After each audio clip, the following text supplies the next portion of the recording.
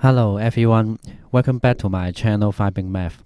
Um, first of all, I need to say sorry that um, it has been a while for me not to upload videos uh, because uh, in my home I have to take care of my two kids and they are always uh, noisy. So uh, the environment is not quite suitable uh, to take the video uh, these days.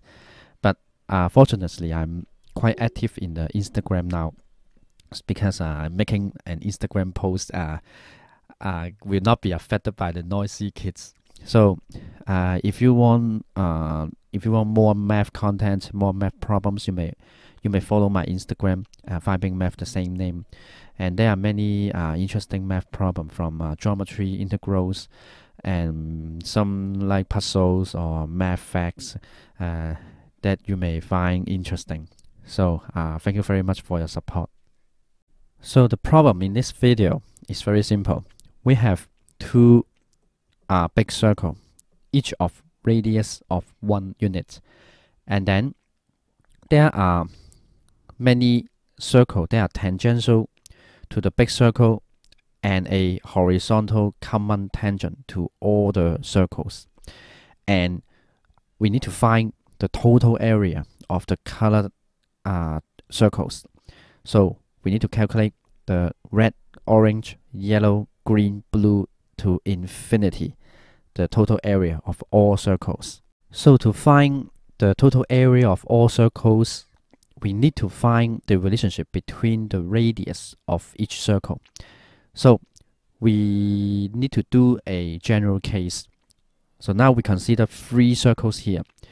And then we will let the radius for the two circle be A and B.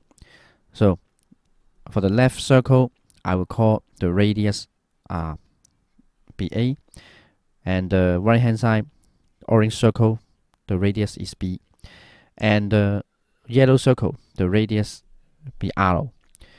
And a very common technique uh, to deal with touching circles problem is to join the centers.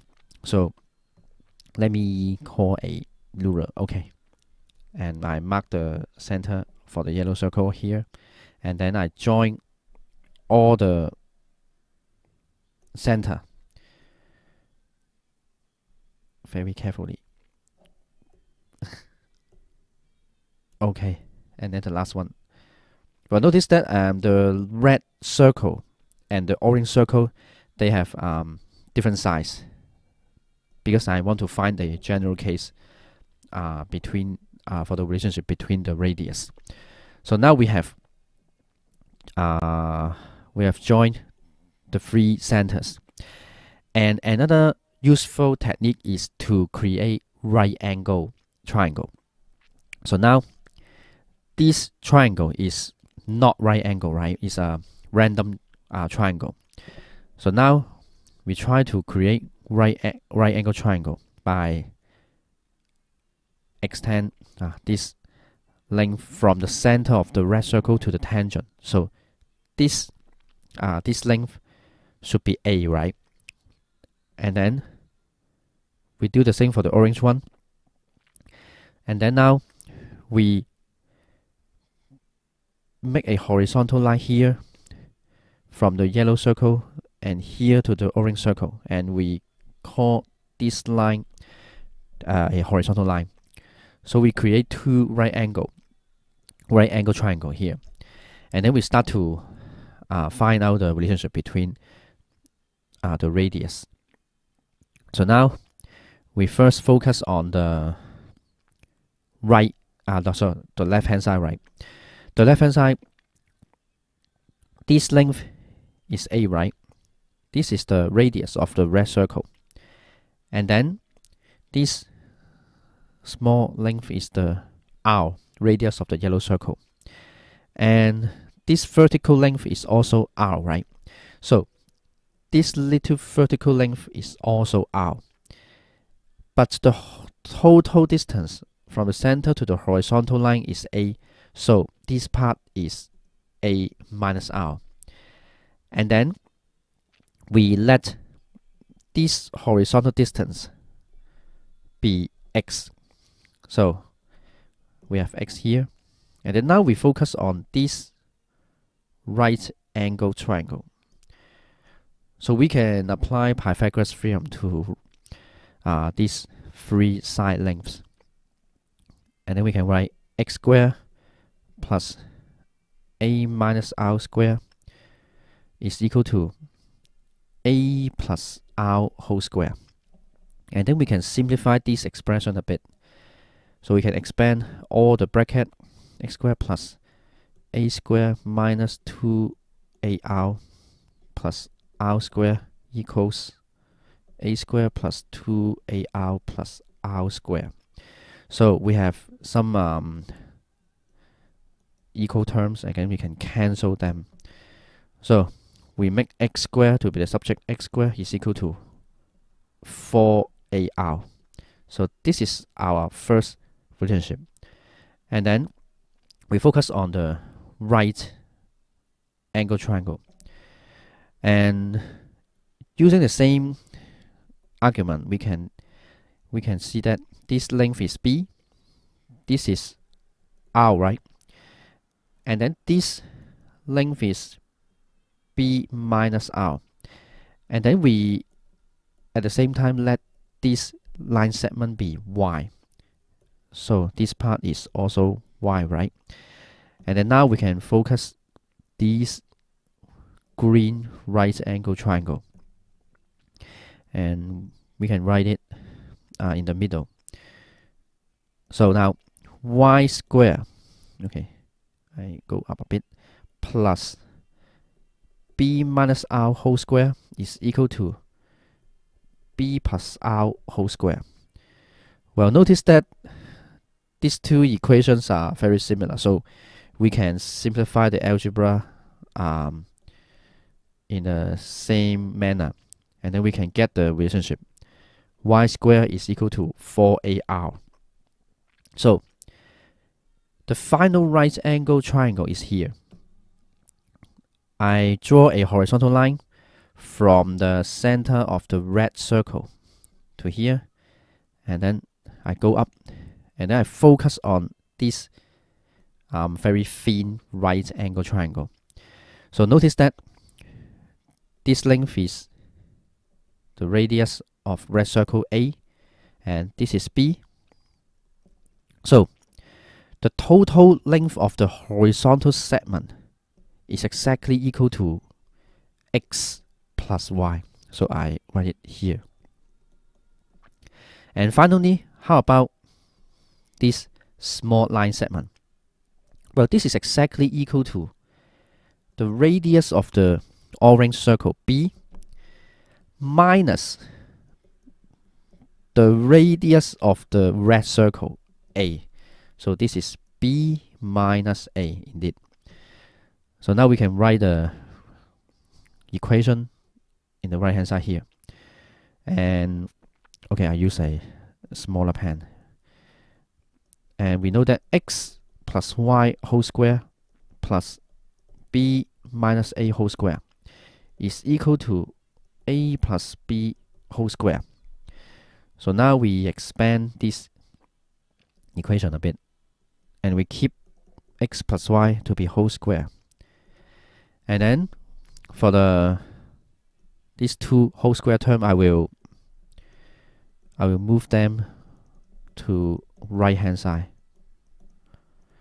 and then I will apply the identity of the difference of two square which is a plus b plus b minus a parenthesis a plus b minus b minus a parenthesis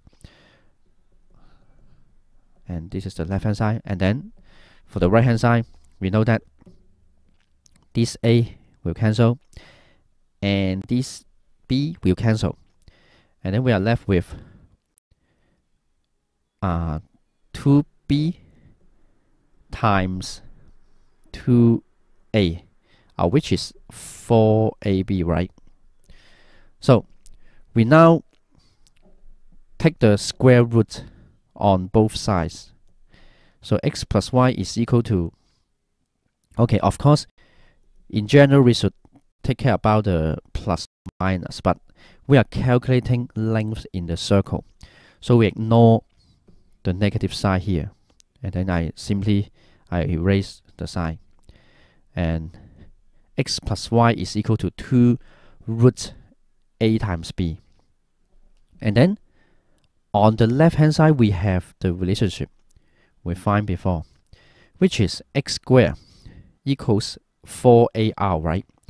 So x will be equal to 2 square root ar and y will be equal to 2 root oh sorry I write wrong sorry oh this is b 哎呀好啦 okay this is b okay this is br right okay and then okay we just copy to here 2 root ar plus 2 root br is equal to 2 root ab so now we can cancel out the common factor 2 on both sides.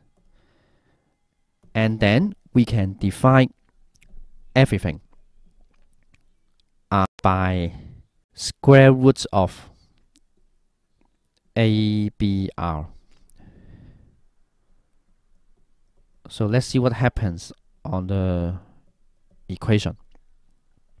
Well, this root AR will cancel with the AR and leaving 1 over root B plus. The root BR will cancel with root BR leaving 1 over root A. And then root AB cancel with root AB and leaving with 1 over root R. And this is the relationship between the three radii of the three circles. And we can think of it uh, like this. If we have two um, big circle and then the radius is of, of course is a and b and then we can use this equation to find the small circle uh, between them. And let's see how we can use this equation in the next in the next page so let's find out the um, orange circle radius first. And we can use the previous formula. And we know that the orange uh, circle radius, and we call it r. We know that 1 over root r is equal to 1 over root 1 over r plus 1 over root 1 because it is in the middle of two big uh, circle with radius 1. So after some calculation, we know that the R is equal to 1 over 4. And then we can go ahead with the yellow one. And for the yellow one, we treat uh, the yellow is between the orange, which is 1 over 4, and then it is also between the very big circle with radius 1. So we can again use the relationship with 1 over root r. So now r is equal to the radius of the yellow circle. And then which is equal to 1 over root 1 plus 1 over root 1 over 4. And then we can do some calculation. 1 over root r is equal to 1 plus.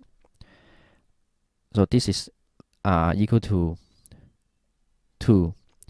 And then 1 plus 2 is 3. And so 1 is equal to 3 roots r. And then roots r is equal to 1 over 3. So r is equal to 1 over 9. So we can see the pattern, right? We see the pattern. We notice that the denominator is a square number, right? It's the reciprocal of a square number. So we write down the pattern the very big circle, the first the first term is 1, and then 1 over 4, 1 over 9, and then 1 over 16, and then so on. So we can now the total we can calculate the total area now. So what is the total area? Is a uh, pi r square, right? So pi 1 square plus pi 1 over 4 square plus pi 1 over 9 square and plus 1 over 16 whole square plus dot dot dot to infinity. And then now we can factorize the pi out. And then 1 square is 1 plus. So 1 over 4 whole square, I can rewrite it like 1 over 2 to the power 4 plus 1 over 3 to the power 4 by the same principle. And then 4 to the power 4. So what is this sum? And this is the very famous the Riemann zeta function. Okay, let's see. I can write it simple. At its value at 4 because the Riemann zeta function is defined as the summation of uh, from n to 1 to infinity 1 over n to the power of s. So now we're substituting s to be equal to 4. So the total area is just pi times zeta 4. And then we know that for zeta 4 there is a standard value is pi to the power 4 over 90. So the total area is pi to the power 5 over 90. And it is very fascinating that the zeta function appears in a geometry question because usually this function will occur in like uh, integrals, of course, and then maybe some number theory problem. And of course, of, of course, the most famous one is the Riemann hypothesis. But it appears in a geometry question with a very simple setup. It's like when you have two uh, unit circle and then you have to calculate all the area of the uh, circles tangential to all the circle and the common horizontal tangent. So I hope you guys like this video and if you find find this video interesting, please like and share and comment. And we will see you in the next video and in my Instagram. Thank you. Bye bye.